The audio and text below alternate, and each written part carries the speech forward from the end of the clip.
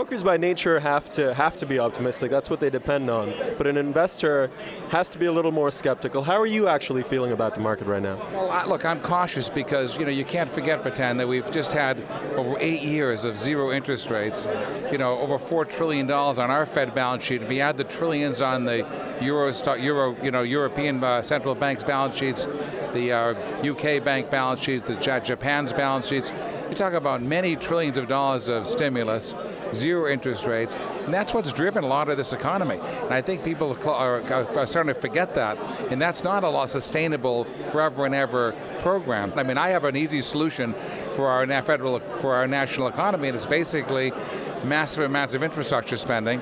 It's easy to do. You know, we can borrow money right now at the lowest rates in history, and we can go borrow 10-year money and 30-year money at you know three, three and a half percent, and we can use it to go rebuild, you know, ports and bridges and schools and hospitals. Sort of like a public works administration brought back. But I see it all done by the private sector, all with American-made products. If we could just get our government to do that, it would really create you know, millions and millions and millions of good paying jobs, and those jobs would be held by the people who are angry and who have crappy jobs and crappy wages and feel no sense of upward mobility. Have you, have you, are you leaning towards any particular candidate?